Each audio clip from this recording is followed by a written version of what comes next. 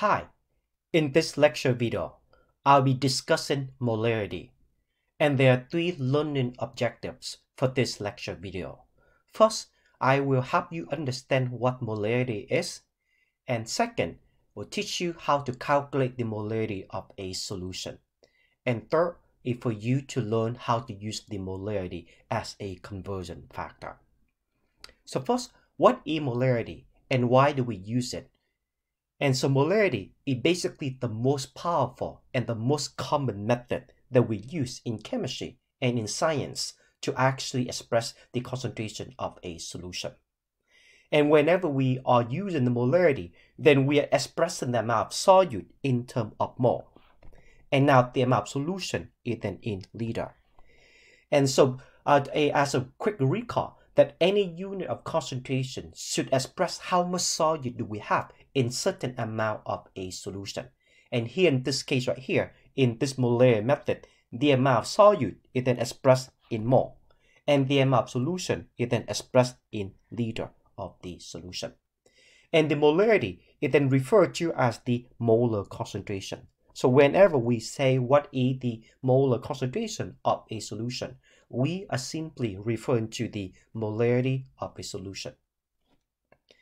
And so, by definition, based on what we have seen already, then the molarity, which is abbreviated with the uppercase m, is then equal to mole of solute over liter of the solution. And a lot of time, this volume of the solution right here is then set equal to 1 liter.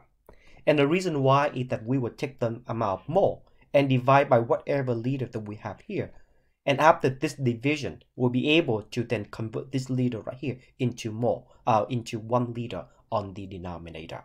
So that's how the molarity is. Mole of solute per one liter of the solution. And we can see that this is a fraction right here. So basically it is a conversion factor. So it is a conversion factor that will convert mole of solute into volume of the solution in liter.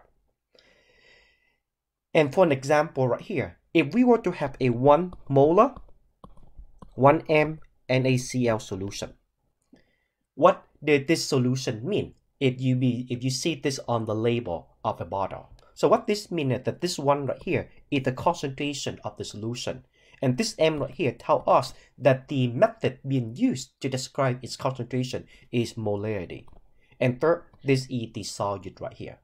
So 1 M NaCl. Now, we do not, not normally say 1 m NaCl, but then we will say 1 molar NaCl. So the m is then referred to as molar. So a 1 molar NaCl solution. And what this means as a conversion factor is as follows. We will then have 1 mole, so this one right here is then transfer into this one. And now m will then equal to mole of NaCl. And on the bottom, it will then 1 liter of the solution. So that's how it is. So again, molarity, the M equal to mole of solute, whatever is the solute over liter of solution. So as we can see right here, if we simply focus on this part right here, mole over liter of solution. This is what the big M would be. And therefore, we're now equal to, we'll be able to write this as 1M NaCl. And this means mole of NaCl over 1 liter of the solution on the denominator. An example of how we'll be able to use the molarity in calculation is as follows. The molarity of a solution will allow us to quickly convert the amount of, of a solution into the mole of the solute very, very quickly.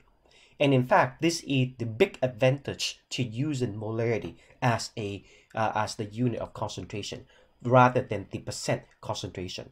If we were to be using the molar of a solution from the very beginning, then now if we were to know how much volume of the solution that we have and we know its molarity, we can quickly figure out how many mole of solute that we have. And knowing the mole of solute that we have in a solution is important because whenever we do chemical calculation, we need to figure out how many mole of reactants or product that we have, right? And if we were to now know or, or using the molarity of a solution to express its concentration, then we can quickly convert the volume of the solution into how many mole of solute that is present in it quickly. And so for an example, let's say we start out with liter of solution. If we were to know the volume of a solution, we can then quickly convert the volume of the solution into mole of solute easily by using the molarity. And similarly, if we were to start with mole of solute, we'll be able to quickly convert this into liter of solution as well by using the molarity as well. In this case right here, we'll be using the reciprocal. So these two fractions in here will then be, be the reciprocal of each other that they use for the different purpose. One is to go from liter of solution to mole of solute. The other one is to go backward from mole of solute into liter of solution. So that's how we can use the molarity as a conversion factor. When we have liter of solution on the denominator, we'll be able to convert that into mole of solute. Versus if we were if we were to have mole of solute on the denominator, we'll be able to convert this into liter of the solution. So how do we then prepare a solution of a particular molarity? Let's go over an example. Let's say that we want to make a 1 molar NaCl solution. How do we proceed to make this solution right here? So first, let's understand what is the meaning of this 1 M NaCl solution. This means that there's 1 mole of NaCl in 1 liter of this solution. So if I would have 1 liter of this solution, it will have then 1 mole of NaCl in it. And now, 1 mole of NaCl have the molar mass of 58.44 gram. So therefore, in here, will be 58.44 gram that is present in this 1 liter of the solution. So that's the meaning to it. In this 1 liter of solution, there be 58.44 gram of NaCl or 1 mole of NaCl in it. So if we were to want to make 1 liter of this 1 mole 1 molar NaCl solution, we will then to have first weigh out 58.44 gram of it, right? Because so we will take out 58.44 gram of it because that would then equal to 1 mole of NaCl. And we will then add this into a volumetric flask and follow by adding some water in to dissolve this. So first, do not add water in all of the way to this mark right here, but add some amount in here, but do not fill this to the neck, so that way we can mix this easily. We can swirl this to dissolve the solid in here. And in here, now we know that we have 58.44 gram of NaCl or 1 mole of NaCl. Once all of this solid have been dissolved already, then now we can add more water into it until the volume of this solution right here reaches exactly 1 liter. And after we have done this already, we now know that we have 1 liter of this solution and the concentration of this solution right here will then be 1 molar. Now we do not know how much volume of water that we add in here.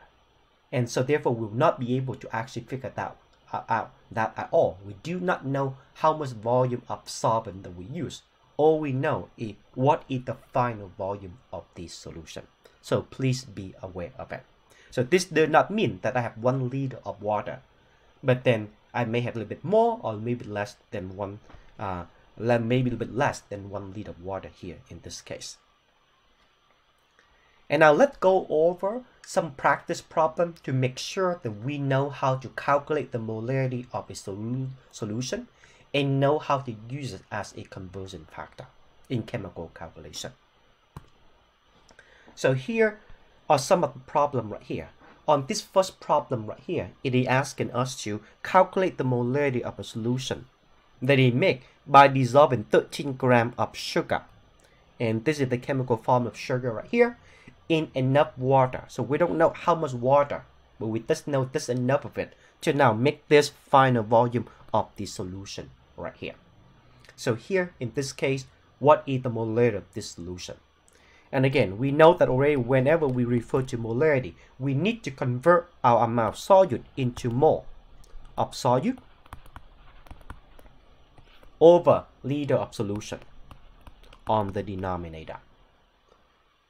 And so in this case right here, we started out with mass of solute. So we have to figure out how many mole of this solute right here that we would have. So we have to convert this into mole first. Here in this case right here, to do that calculation, starting with 13 gram of sucrose. So, so in the chemical formula is C12H22O11. So that's sugar right there.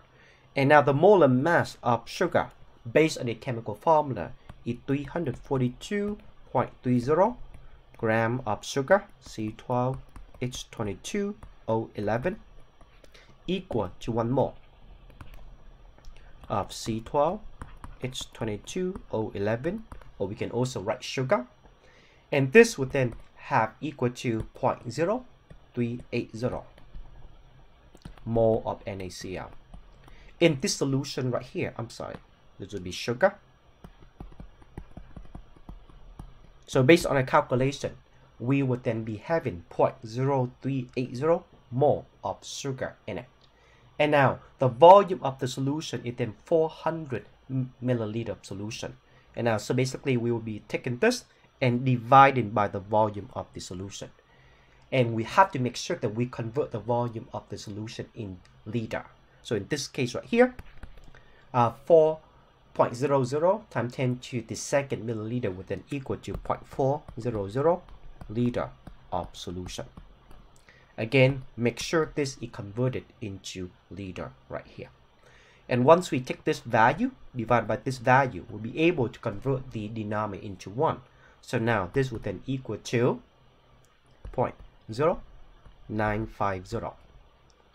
And we will then on top have mole of C12H22O11. And now on the on the denominator, it would then be reduced to 1 liter of the solution. And we can now write the following. Whenever we have mole of something over liter of solution, or 1 liter of solution, this is the uppercase M right here. So therefore, this will then equal to 0.0950 uppercase M, followed by the chemical formula of the solution, what the solute would be, C12H22O11. And that is how we would label this solution right here and its concentration. So the molarity of the solution would then be 0.059, 0.0950 molar sugar.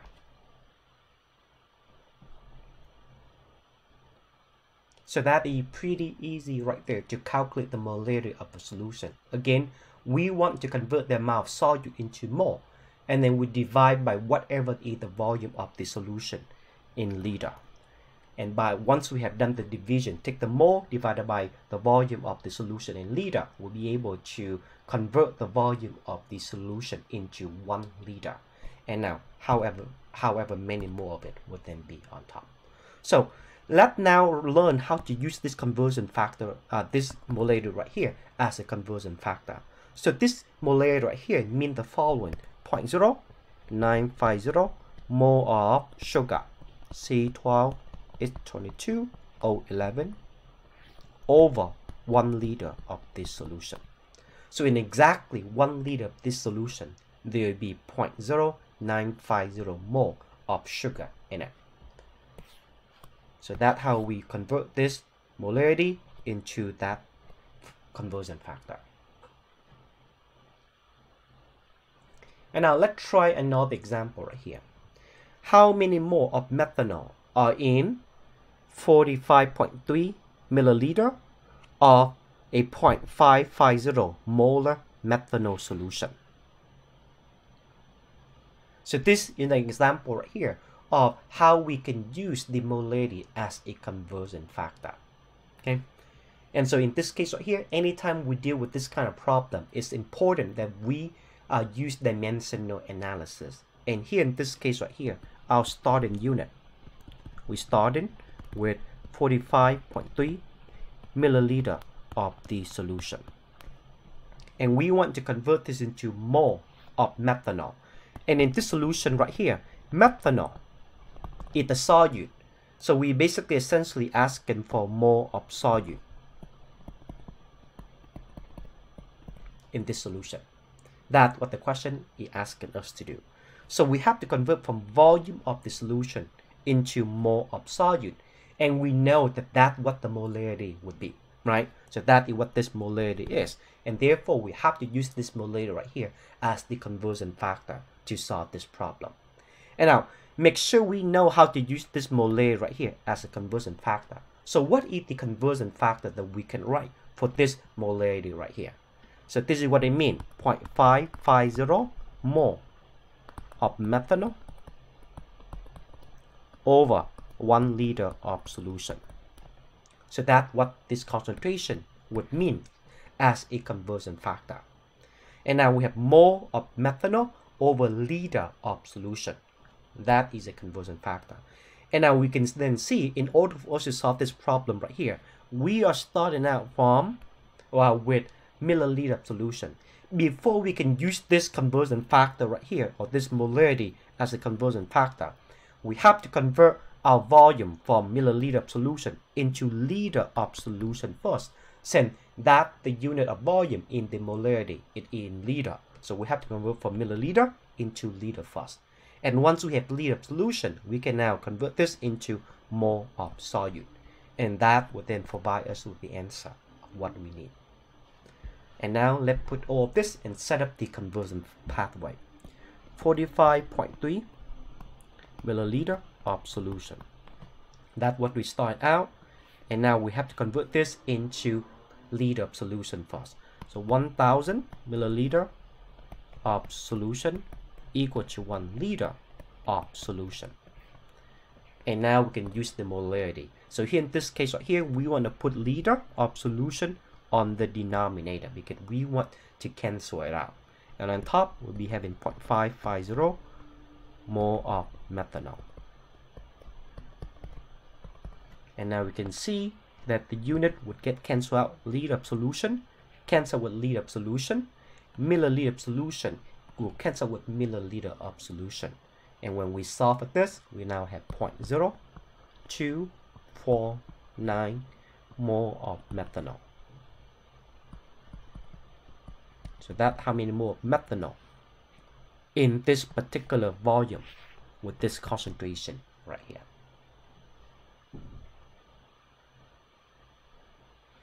And in chemical calculation, sometimes it is useful for us to do the following. So we recognize the following. So here in this case, we have to convert from milliliter of solution into liter of solution first. And the more step that we have to show, then the more time it will take, right? So one of the way for us to do this quickly as follow. So notice that the whenever we have the molarity of a solution, that what is mean right here, right? Now, instead of using one liter of solution, we know that one liter solution is then equal to a thousand milliliter, right? So therefore, I can quickly write the following: 0.0950 mole of whatever solute it will be. C12 is 22 or 11. And now on the denominator, instead of using one liter of solution, I can now have a thousand milliliter of solution. So this conversion factor, or if we were to be using this unit of volume of solution here, it will allow us to cut down one step as we set up the conversion pathway to solve this problem right here. So we can either have one liter of solution on the denominator or a thousand milliliter of solution on the denominator. And please try this example 2 and 3. And so I want to provide you with the answer so you can check your work. For number 3, the answer would then be 10.9 liter of solution. And for number 4, the answer is 23 milliliter of solution.